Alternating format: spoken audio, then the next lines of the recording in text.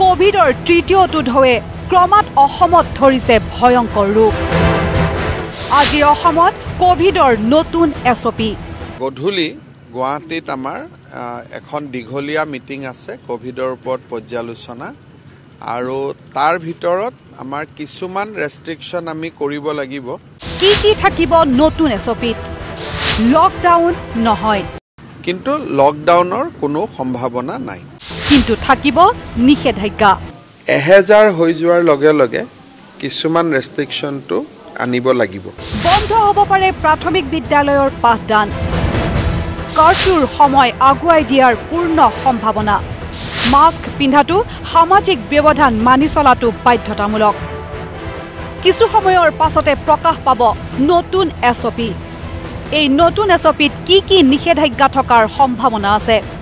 পোন্ধৰ বছৰৰ তলৰ অৰ্থাৎ যিসকল ছাত্ৰ ছাত্ৰীয়ে এতিয়াও কভিড ভেকচিন লোৱা নাই তেওঁলোকৰ পাঠদান বন্ধৰ পূৰ্ণ সম্ভাৱনা।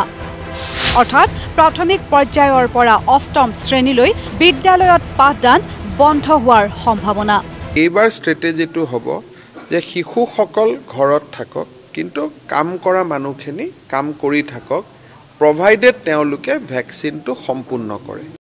অৱশ্যে যিসকল ছাত্ৰ ছাত্ৰীয়ে ইতিমধ্যে কভিডৰ ভেকচিন লৈছে অৰ্থাৎ নৱম শ্ৰেণীৰ পৰা মহাবিদ্যালয় তথা বিশ্ববিদ্যালয় পৰ্যন্ত পাঠদান অব্যাহত ৰখাৰ সম্ভাৱনা। পোন্ধৰৰ পৰা ওঠৰ বছৰৰ ল'ৰা ছোৱালীখিনিৰো ভেকচিনটো জানুৱাৰী মাহত প্ৰথম ড'জ ফেব্ৰুৱাৰী মাহত দ্বিতীয় ড'জ আমি শেষ কৰিব খুজিছোঁ যাতে পৰীক্ষা আদিতো বিশেষ সমস্যা নহয় নাইন টেন ইলেভেন টুৱেলভৰ ল'ৰা ছোৱালীও যাতে স্কুল কলেজত আহি থাকিব পাৰে। এইখিনি আমাৰ এটা আপাতত প্লেনিং কাৰ্ফিউৰ সময় আগুৱাই দিয়াৰ পূৰ্ণ সম্ভাৱনা। অৰ্থাৎ বৰ্তমান চলি থকা নিশা চাৰে এঘাৰ বজাৰ কাৰ্ফিউ নিশা দহ অথবা চাৰে দহ বজালৈ আগুৱাই দিয়াৰ সম্ভাৱনা আছে। তাৰ মাজত অলপ হয়তো কাৰফিউ টাইমটো আগুৱাব। মাস্ক পিন্ধাটো বাধ্যতামূলক হ'ব এৰাই চলিব লাগিব ভিৰ। হয়তো অলপমান গেডাৰিংবিলাক বন্ধ কৰিব লাগিব যে আমি যেনেকৈ আজি এটা মুকলি মনে ঘূৰি আছোঁ যে পাঁচ হাজাৰো গোট খাইছে দহ হাজাৰো গোট গোট খাইছে। মাস্কখন হয়তো আমি আকৌ পিন্ধা প্ৰেক্টিচ কৰিব লাগিব। অকণ অকণমান হ'ব। যদি অহা বাৰ জানুৱাৰীলৈ অসমত আক্ৰান্তৰ সংখ্যাই দুহেজাৰৰ ঘৰ স্পৰ্শ কৰে তেনেহ'লে মাঘ বিহুৰ সময়ত ভেলাঘৰত সমাগম তথা খেল ধেমালি প্ৰতিযোগিতাতো বাধা আহিব পাৰে। এটা প্ৰজেকশ্যন মডেল আমি চাওঁ যে বাৰ তাৰিখলৈকে কিমান হ'ব পাৰে। গতিকে আমি যদি দেখোঁ যে বাৰ তাৰিখলৈকে কেছ গৈ দুই হেজাৰ পাব তেতিয়া তাৰ কথাটো বেলেগ। বোলে বাৰ তাৰিখলৈকে এক হেজাৰৰ তলত থাকিব তেতিয়া তাৰ কথাটো বেলেগ। মাঘ বিহুটো মঞ্চত নহয়। খালি আমি যি ধৰণে ভেলা পাতোঁ বা ভেলাঘৰ বা আমি যি ধৰণে ৰাতিপুৱা প্ৰতিযোগিতা আদি পাতোঁ সেই ক্ষেত্ৰত আমি কিবা কৰিবলগীয়া আছে নেকি? আজি আমি পাতি ল'ম।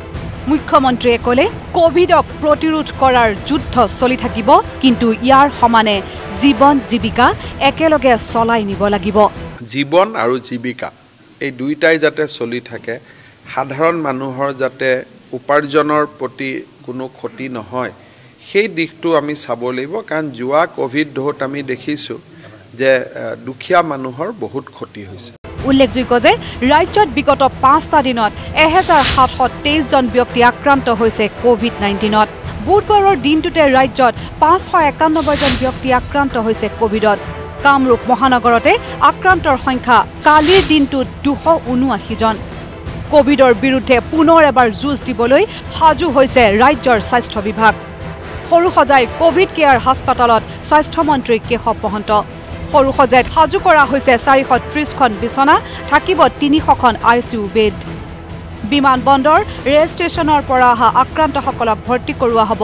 সৰুসজাই কভিড কেয়াৰ হাস্পতালত। যোৱাকালি আৰু আজি মিলি ইয়াত ছয়ত্ৰিছজন এতিয়ালৈকে এডমিট হৈছে। আৰু সৰুসজাইত আৰু এখন আম- যি ডি আৰ ডি অ'ৰ পৰা হস্পিটেল কৰিছিলোঁ সেইখন অৱশ্যে এতিয়া খালী হৈ আছে। সেইখনৰ সম্পূৰ্ণ মানে প্ৰস্তুত কৰি ৰখা হৈছে। জি এম চি এইচৰ অধীনত গুৱাহাটীত মুঠ পোন্ধৰশ কভিড আক্ৰান্তক ৰাখিবৰ বাবে ব্যৱস্থা কৰিছে স্বাস্থ্য বিভাগে। লগতে কালাপাহাৰ কভিড কেয়াৰ হাস্পতালো পৰ্যবেক্ষণ কৰে স্বাস্থ্যমন্ত্ৰী কেশৱ মহন্তই। Bureau' report news live.